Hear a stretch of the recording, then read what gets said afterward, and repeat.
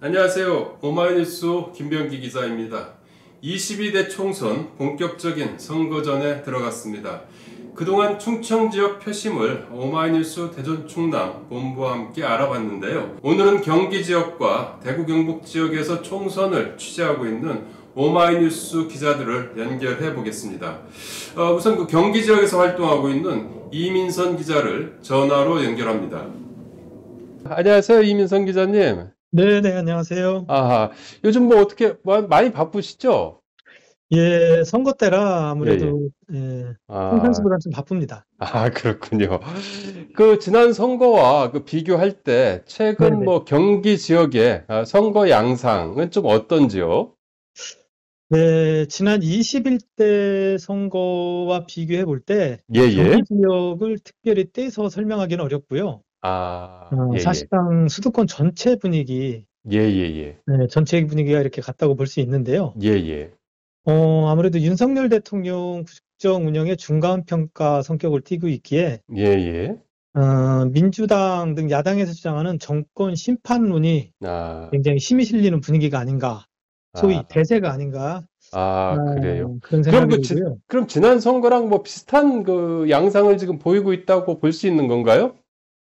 예, 굳이 판세를 분석을 예, 하자면 예. 지난 21대 선거는 어쨌든 촛불의 여윤이 예, 여운이 있어서 그렇죠. 어, 그 전 정권 심판 성격을 띠고 있었기 때문에 예, 예. 민주당이 굉장히 뭔가 약진을 한 그런 선거였는데요. 아, 예, 예.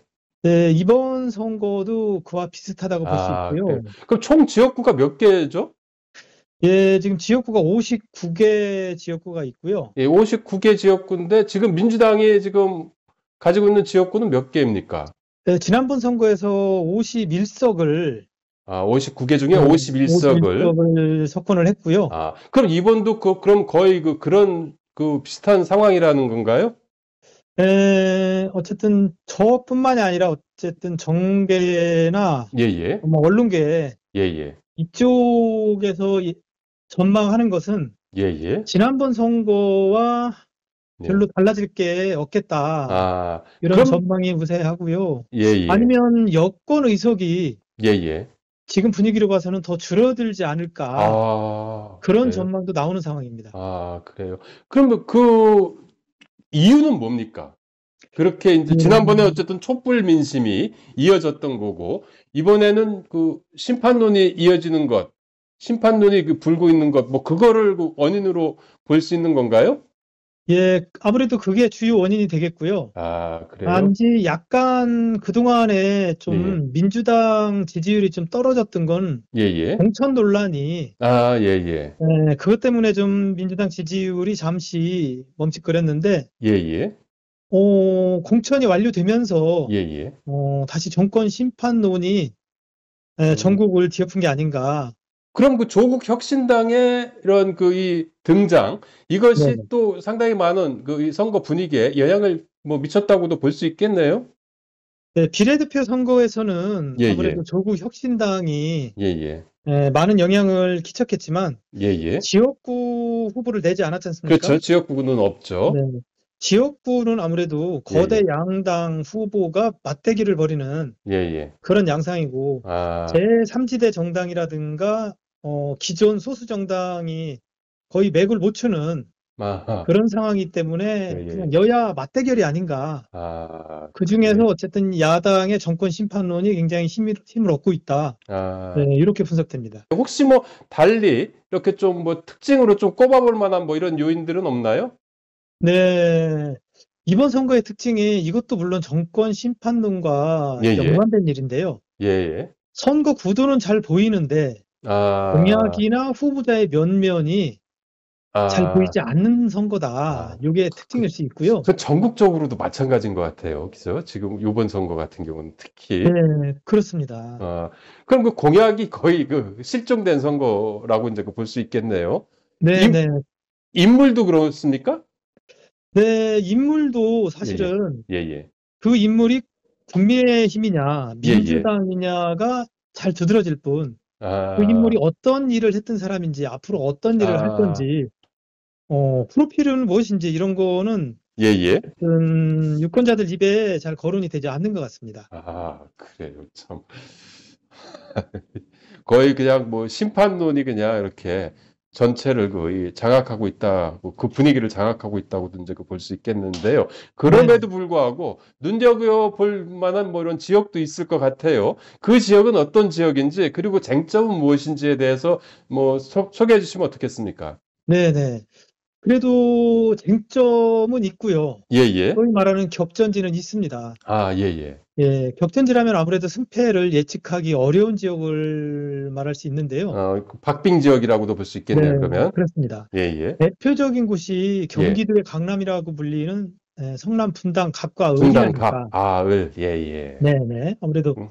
그것도 또 전국적인 지명도가 있는 분들이 거기에 또 출마하시지 않습니까? 네, 맞습니다. 예, 예. 어, 갑 선거구에서는 예, 예. 이광재 민주당 후보, 예, 그다음에 예. 대권에도 도전했던 안철수 국민의당 후보가 예, 예. 격전을 벌이고 있는데요. 예, 예. 어, 각종 여론조사 결과를 보면 오차 예, 예. 범위 안에서 지금 엎치락뒤치락 접전을 벌이는 것으로 나타나고 있고요. 예, 예. 또 특징은 여론조사 주체마다 좀 차이가 나는데 예, 예. 7% 정도 이광재 후보가 앞선다는 결과도 있고 예, 예. 또 비슷한 시기에 발표된 건데도 5% 정도 안철수 후보가 앞선다는 그런 조사 결과도 아. 있습니다. 그야말로 뭐 안개 속 박빙이라고 볼 수 있겠네요, 그쪽은. 그럼 네. 그이 두 후보의 그 정책적 차별성 뭐 이런 것들이 좀 뭐 이렇게 나오고 있나요? 네, 이렇다 할 정책적 차별성은 없고요. 예, 예. 그리고 무엇인가 정책 발표를 하긴 하는데 예, 예. 대체로 그 지역은 재개발과 예, 예. 어, 리모델링, 예, 아파트 예. 밀집 지역이기 때문에 예, 예. 어, 그런 게 대세가 되겠고요. 예, 모든 예. 정책이 거기에 몰려 있고 어, 누가 더 재개발, 재건축을 잘 할 수 있느냐 아. 그런 거를 얘기하는데 잘 보이진 않습니다. 그냥 그, 이광재, 안철수, 아, 그, 그, 그냥 어, 그 문재인, 인물. 국힘. 응? 인물이 좀잘 국- 보이는 그런 그리고. 정당, 국힘이냐, 네, 맞습니다. 아니면 민주당이냐, 네, 뭐 그렇습니다. 이런 것. 저, 예, 구체적으로 소개를 하자면 분당 갑 같은 경우는 예, 예. 최근 경기신문, 예, 예. 정기신문에서 의뢰, 어, 의뢰해서 조사한 여론조사 결과 예, 예. 이광재 후보가 48.4%, 예. 안철수 후보가 40.5%, 어, 그 8% 정도 차이가 나네요. 네, 7.9% 정도 지금 예, 예.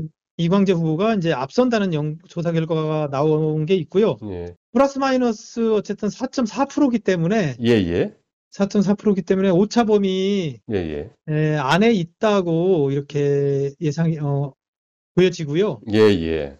어, RN 리서치라는 그런 예, 예. 회사에서 예, 조사한 예. 겁니다. 예. 어, 연령별로 보면은 이제 30대와 40대에서 어쨌든 어, 지지대가 높았고요. 예, 이광재 예. 후보.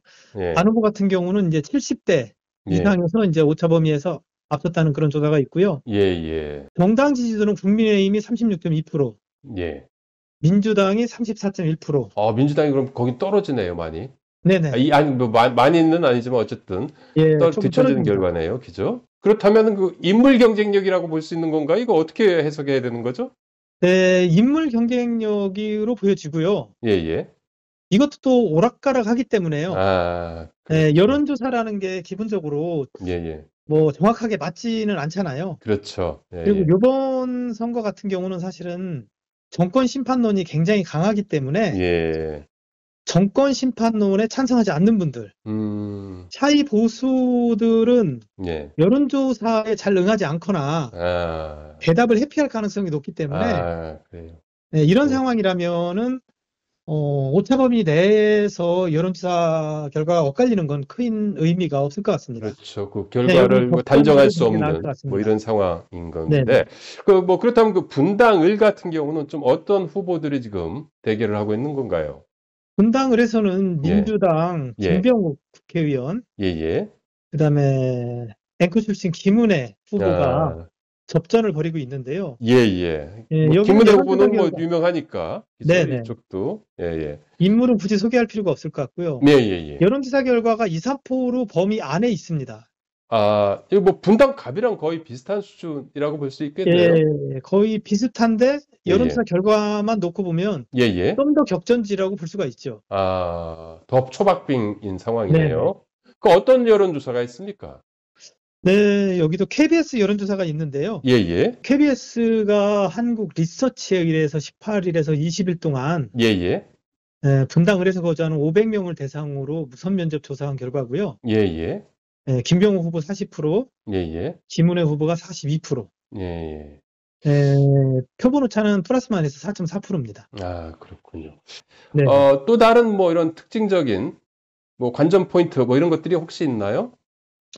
네, 격전지라는 거 외에는 예, 뭐 예. 특징적인 건 없고요. 예, 예. 여기는 어, 어쨌든 정당 지지도도 있지만 예, 예. 인물론이 좀 작용하는 어, 그런 선거가 아닌가. 아무래도 아. 유명하신 분들이기 때문에 예. 예, 그게 특징이라면 특징이 될 수 있겠습니다. 아, 그래요. 그 분당 갑을 경우는 뭐 어떻게 보면 그 관전자 입장에서 보면은 어, 흥미진진하긴 한데 후보자들은 아주 그 피말리는 선거가 되지 않을까 이런 뭐 생각을 하게 됩니다. 아, 전반적으로 보면 그 민주당이 그 경기 지역에서 우세한 분위기인데 아, 앞으로 이제 남은 기간이 뭐 얼마 남진 않았지 않습니까? 물론 여기. 이, 이, 이 와중에서도 이제 또 엎치락뒤치락 하기도 할 텐데 아, 남은 기간 동안에 그 선거 여론을 좀그 전망한다면 어떻겠습니까? 네, 우선 큰 이변이 없는 한, 예, 예. 예, 이 분위기에서 어, 변화가 올 것 같지는 않고요. 예, 예. 어, 내일부터 본격적인 선거가 시작되지 않습니까? 예, 예, 그렇죠. 예, 사실상 투표 결과가 나오지 않았을 뿐, 예, 예. 이미 상당 부분 표심 향방은 정해졌다고 보는 게, 음, 어, 선거 전문가 등의 분석이기 때문에, 음, 어, 크게 달라질 것은 없다고 보고요. 예, 예. 특히 이제 공약이나 인물, 이런 디테일한 부분이 잘 보이지 않고, 예, 예. 전체적인 구도만 지금처럼 음. 강한 선거에서는 심판론.